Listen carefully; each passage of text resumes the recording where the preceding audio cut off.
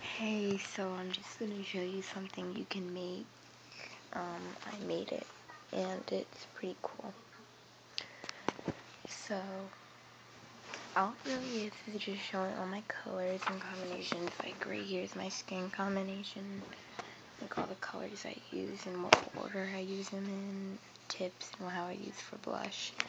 Combo I use for brown, yellow, orange, red, green, blue, purple, pink, and it shows like black and colors of spider.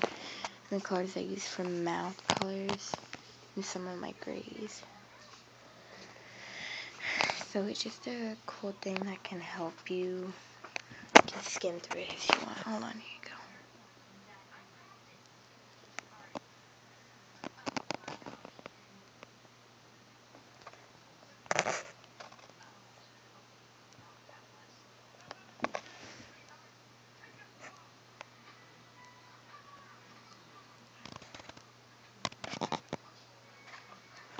Yeah.